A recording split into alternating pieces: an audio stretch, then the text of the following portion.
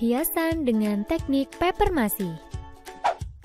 Mendekorasi ulang ruang kamar tidur, ruang kerja, ruang tamu memang sangat diperlukan untuk membuat kesan semangat baru. Ada beberapa macam cara untuk mendekor ulang. Dapat dengan mencat ulang, mengubah tata letak interior, atau hanya sekedar menambah pernak-pernik pada dinding. Tentunya, kita akan memilih yang paling hemat bukan? Teknik yang akan kita gunakan adalah teknik papermasi. Alat dan bahan, batang penahan, pati kanji, wadah untuk adonan, kapur putih, kertas bekas dari majalah atau poster, kuas, kain perca. Persiapkan semua alat dan bahan-bahan tersebut.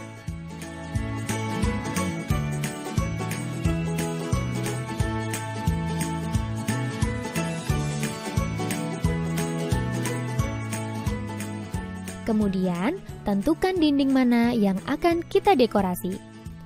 Pastikan area dinding yang akan kita dekorasi sudah bersih dari perabotan atau mebel. Bersihkan dinding yang diinginkan dengan kain perca.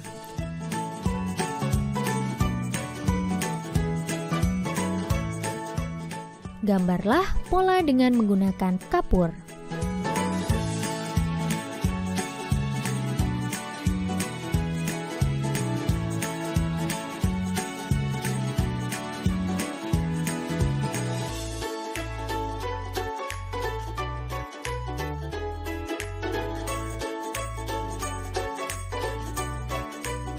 Buat adonan lem dengan menggunakan pati kanji dengan cara tuang tepung pada wadah untuk adonan.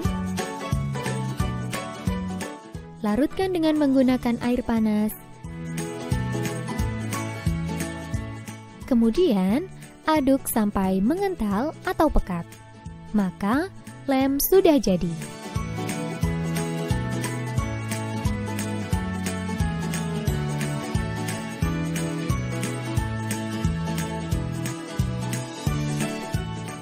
Pilihlah kertas bekas dengan warna tertentu untuk pola tertentu.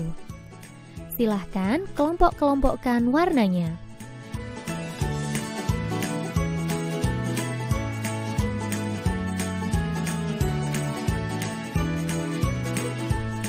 Oleskan lem pada pola menggunakan kuas, kemudian ratakan.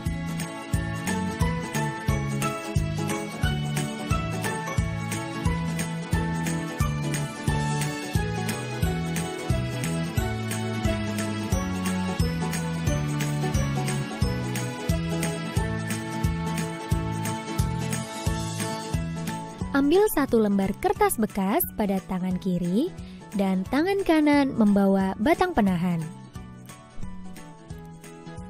Tempelkan sedikit bidang kertas bekas, tahan menggunakan batang penahan, kemudian robek kertas sehingga kertas robek pada bidang tertahan batang penahan. Angkat batang penahan, biarkan kertas yang tertahan masih menempel karena itu yang kita inginkan.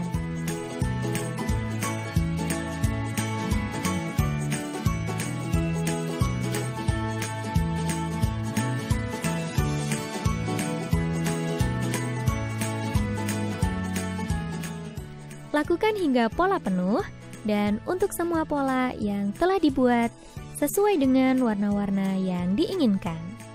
Sehingga terbentuk sebuah hiasan kolase dinding.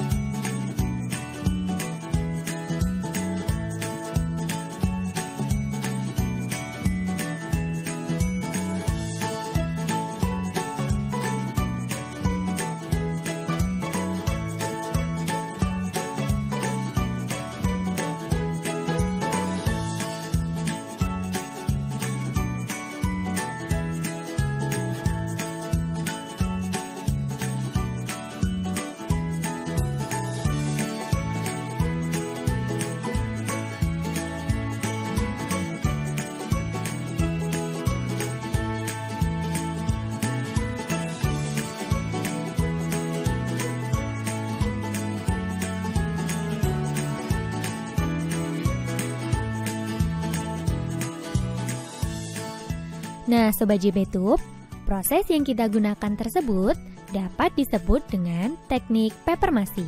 Meskipun teknik papermasi banyak ragamnya. Kalau ingin menambah hiasan kolase tersebut, bisa dibuat pola-pola yang disukai, sehingga dinding menjadi lebih indah.